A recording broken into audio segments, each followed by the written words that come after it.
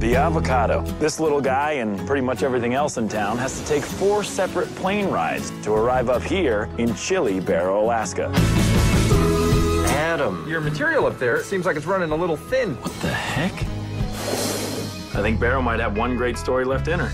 This is solid ice. It goes for five miles from here to the open ocean. Three gray whales are now trapped in walls of ice six inches thick. You have whales in trouble and you didn't call me? I didn't call you because there's nothing you can do. There's always something you can do. Rachel, I'd like you to meet Fred and Wilma. And this is Bam Bam. Everything's gonna be okay. Governor Haskell, we were wondering if you could mobilize a ship that can break through the ice. You're serious? With every passing hour, their path to freedom slips further away as more of the ocean turns solid. All we need is the cooperation from the governor, but the governor has basically turned his back on the whales. I hate her so much. We will do everything we can to help these poor creatures. Pretty amazing, huh? The National Guard will pull the icebreaker where it's desperately needed. The pull should be a piece of cake. Nothing's that simple in the Arctic. This is a monumental task as all eyes and efforts are focused on saving the whales.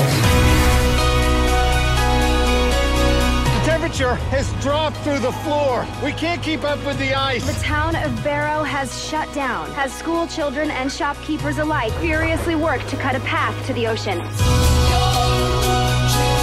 Where's Bam Bam? He's not coming up. Maybe he's hurt. You can't go down there, it's too dangerous.